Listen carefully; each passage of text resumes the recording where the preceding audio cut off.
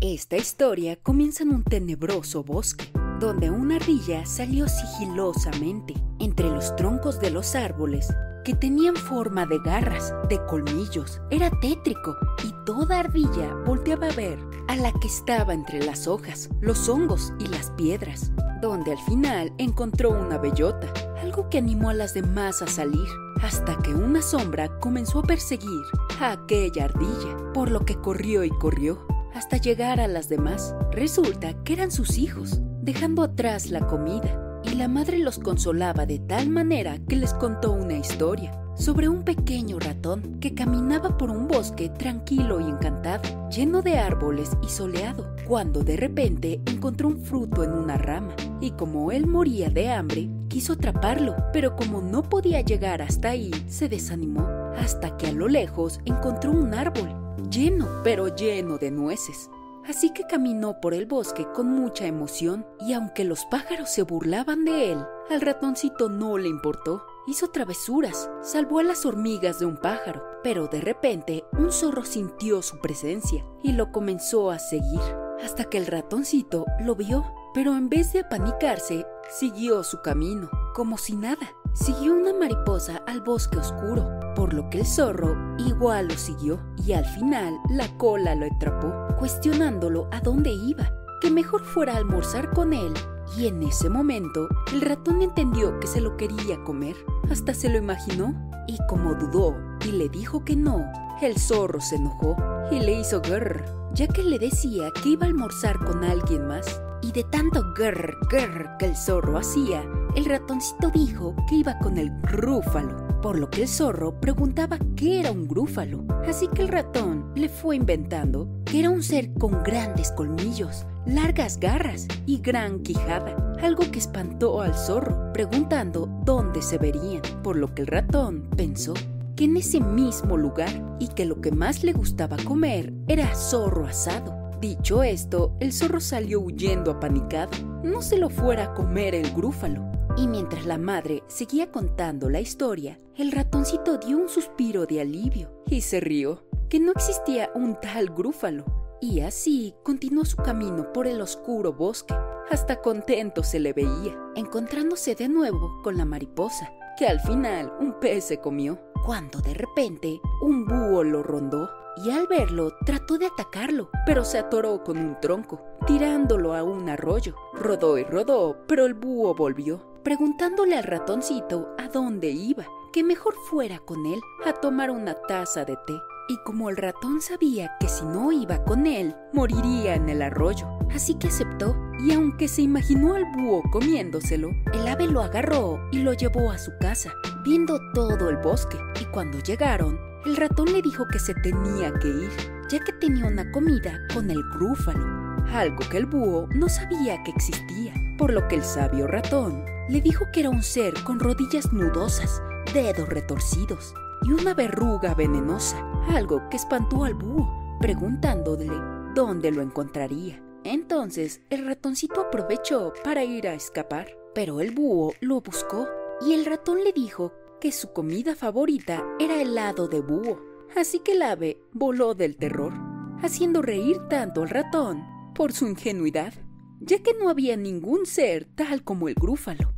Y así el ratoncito continuó su camino, cruzando todo hasta el pantano, curioseando a todo ser que vivía por ahí. Pero al salir algo lo estaba observando, sigilosamente, y entre más se metían las hierbas, una serpiente el ratón vio y con su cola lo atrapó, preguntándole a dónde iba a almorzar, que fuera con él a su tronco, por lo que el ratón le agradeció, pero que no podía, ya que tenía una cita con el grúfalo. Y tal como los demás, la serpiente le preguntó que qué era eso, por lo que el ratón lo describió, con ojos naranjas, lengua negra y espinas púrpuras en la espalda. Con esto espantó a la víbora, preguntándole dónde lo encontraría, por lo que el ratón le dijo que en ese mismo lago, que su comida favorita era serpiente revuelta. Apanicada, la serpiente se despidió y al ratón dejó, sonriendo, porque ya sabía cómo hacerle cuando un depredador lo encarara. Dicho esto, las dos ardillitas se burlaban de la serpiente, ya que no existía tal cosa como el grúfalo. Y bien, la mamá continuó narrando su cuento, donde el ratoncito café dejó el pantano hasta la zona más sombría de todas. Y cuando el ratón silbaba sin preocupación, por ese mismo lugar, los tres depredadores se reunieron, hablando de lo que el ratón les contó, del grúfalo. Y cuando cada uno dijo lo que el ratón describió, se dieron cuenta que los engañó. Enojados, el cielo se nubló y fueron en busca del roedor, quien justo por fin volvió a la luz del bosque, llegando al árbol que tanto soñó, pero de repente gritó del terror, ya que encontró a un enorme ser, con enormes garras, colmillos, dientes y una gran quijada, con ojos naranjas y lengua negra, con espinas púrpuras en la espalda, con rodillas nudosas garras retráctiles y una verruga venenosa. Y cuando acabó de describirlo, la criatura lo trata de pisar, apanicando al ratón del horror. El grúfalo trató de agarrar, divirtiéndose, mientras lo atormentaba, y al final lo atrapó y con su cola lo levantó, lamiéndolo, diciendo que sabría delicioso en un trozo de pan como un sándwich. Y mientras el grúfalo lo agarraba, el ratón dijo que no lo llamara delicioso, que todo ser en el bosque le temía, que si no le creía que volteara a ver, y le hizo grrr.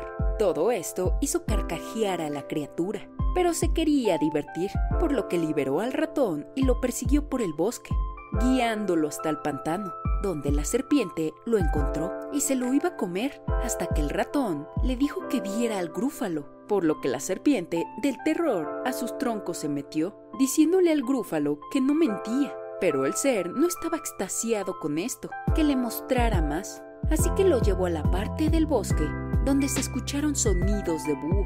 Así que el grúfalo se sentó y observó cómo el búho voló y se acercó enojado hacia el ratón, y el pequeño no estaba espantado, quedando con los ojos abiertos. Al ver al enorme ser, del pánico salió volando, chocando del horror.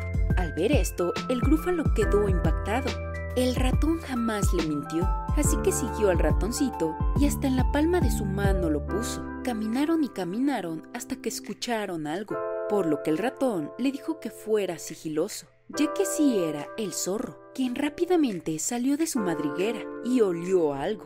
Cuando el ratón le habló y lo saludó, sentándose del horror, pidió auxilio, se despidió y se metió a su madriguera. Al ver esto, el grúfalo lo miró atento y su cara reflejaba hambre. Y todos en el bosque escucharon como su estómago hizo grrr, espantando a todos los animales. Y al ratón, porque le dijo que no le mentía, que aquí todos le temían. Y en ese momento, su estómago igual comenzó a rugir y le dijo al grúfalo que se acercara para contarle cuál era su comida favorita. Así que el ser se acercó a él y escuchó cómo el ratón le decía cómo adoraba el grúfalo desmenuzado, dejándolo con el ojo cuadrado, por lo que se levantó y huyó del terror, imaginándose al ratón cómo lo devoraba.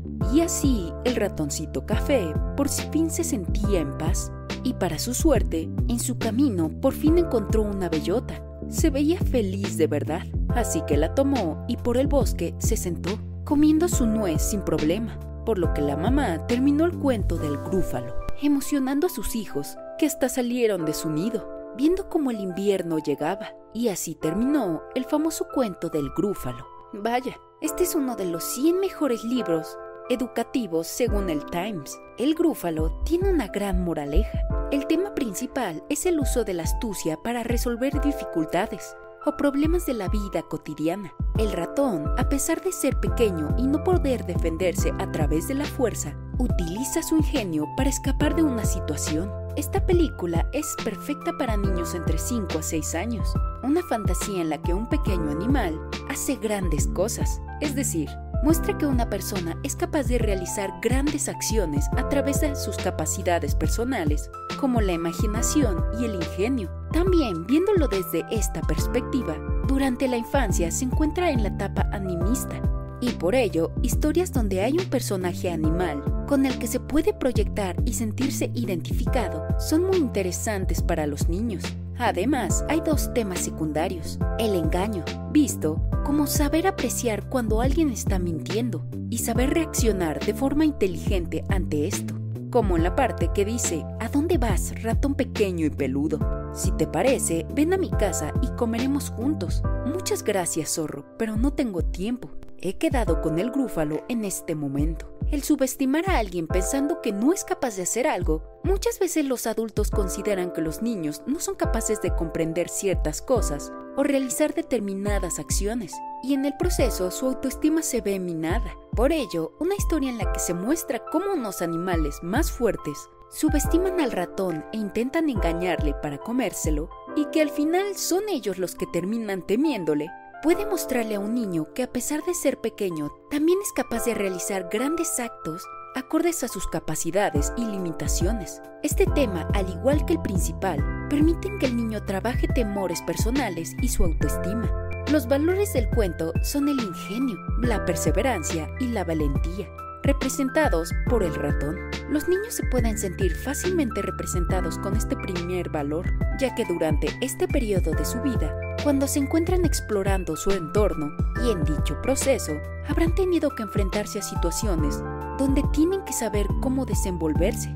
Además, según Piaget, los niños deben ser motivados a utilizar su iniciativa e inteligencia en la manipulación activa del entorno, porque es solo por el intercambio directo con la realidad como el desarrollo la capacidad biológica que da lugar a la inteligencia. Este tema se encuentra muy vinculado como el planteamiento del psicólogo. La perseverancia es un valor interesante para los más pequeños. La perseverancia es un valor interesante para los más pequeños, ya que durante la infancia el niño en multitud de casos ha sentido frustración por un obstáculo que se le presenta en el camino.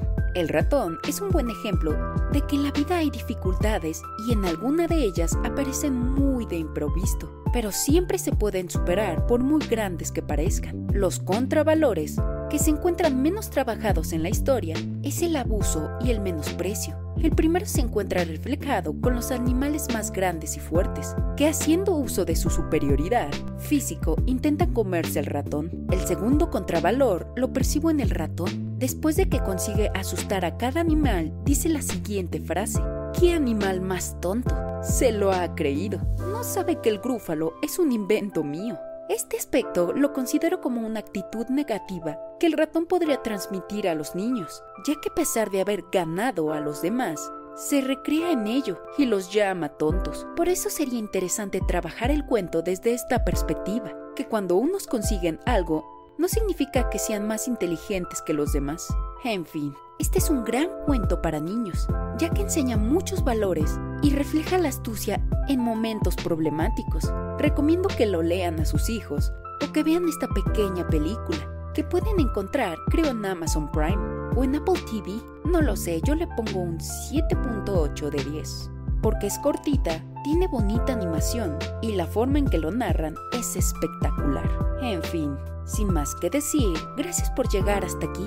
Suscríbanse para más y comenten qué les gustaría escuchar. Les mando un saludo y como siempre, sigan siguiendo pelis.